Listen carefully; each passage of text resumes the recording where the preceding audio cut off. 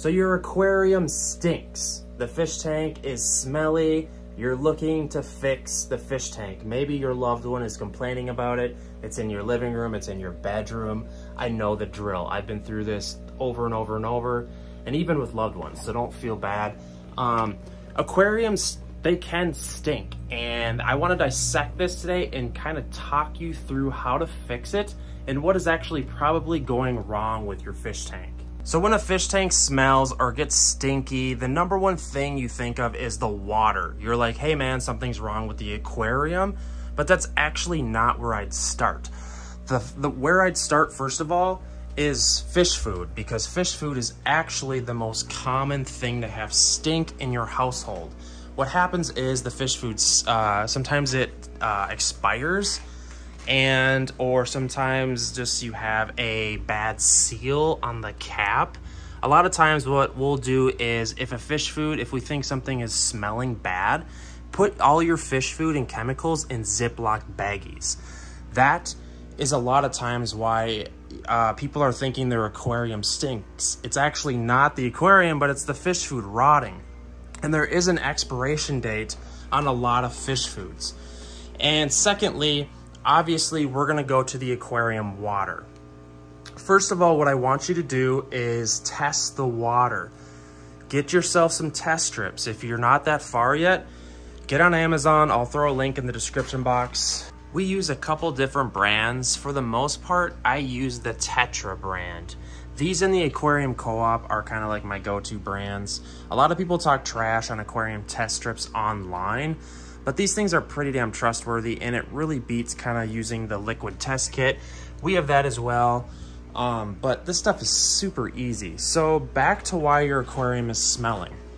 If you think you're beyond checking like the expired food, put your fish food in Ziploc baggies. Now we're gonna move on to the water. First, take a look at your fish. Do the fish, do they look like they are kind of lethargic or do they look happy? Are the gills moving a lot? Look at their gill plates. Sorry, I bumped it a little bit.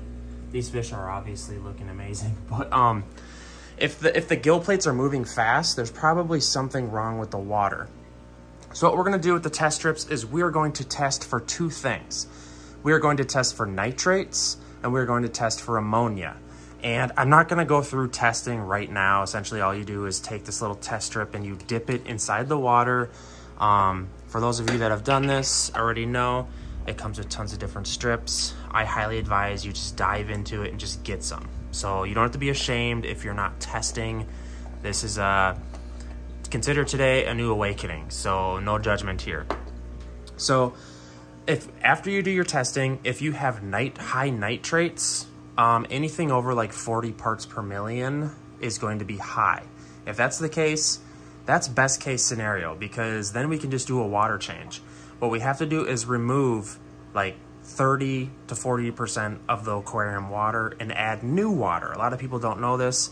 Um, you can do that in a couple different ways. You can use a water changer, you can use buckets, however you want. So that is not a bad case, honestly.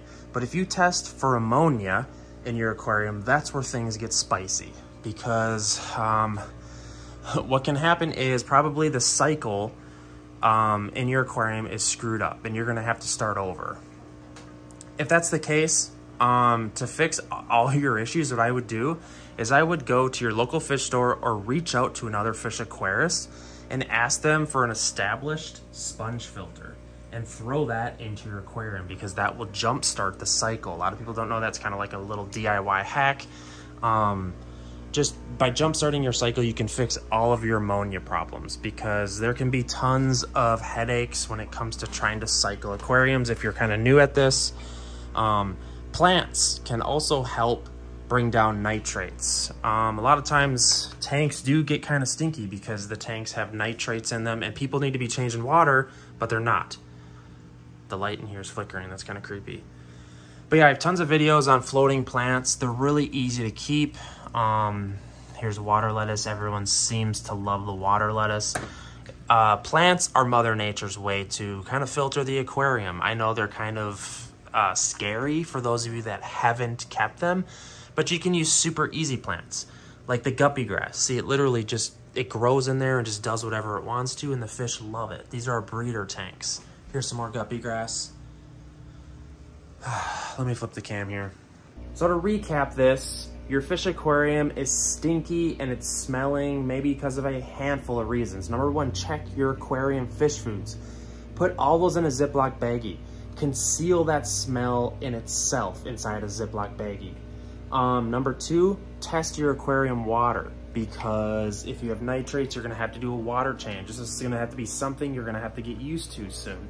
And second, if you have ammonia issues, you have a cycle problem. Your aquarium isn't properly cycled, which happens all the time. You don't gotta beat yourself up.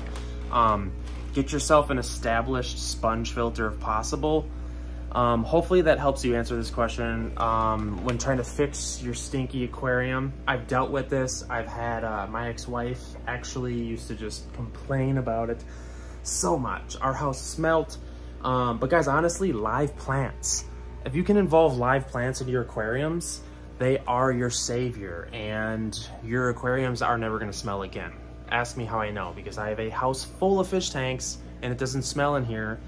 Um, I mean, minus just the smell of maybe humidity, but that's a smell in itself. So guys, without further ado, please subscribe to the channel. I, I'm begging you. No, I'm just kidding. I'm not gonna beg you.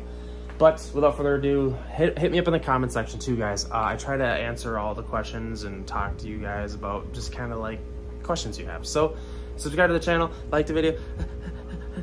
My aquarium is stinky, guys.